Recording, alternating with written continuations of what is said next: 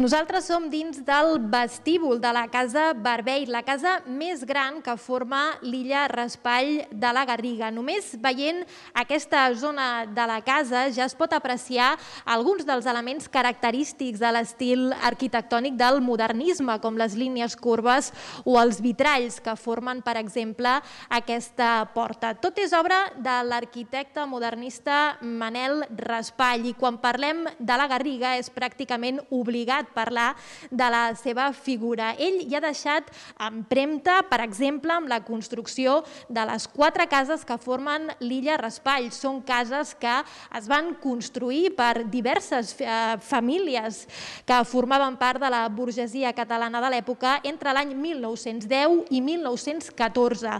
L'illa Raspall és la que ens ha arribat més ben conservada fins a dia d'avui, però el que no tothom sap és que en aquella època a la Garriga hi van arribar existir fins a sis illes raspalls similars a aquesta. A la Garriga eh, hi havia hagut eh, sis mansanes raspall, aquesta, la, per descomptar, la més important.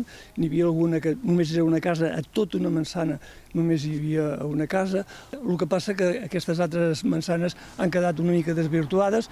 En algunes, o en cas, es conserva l'edifici, però han sigut trossejades i, i venut els, els, els jardins no, per, per edificar-hi.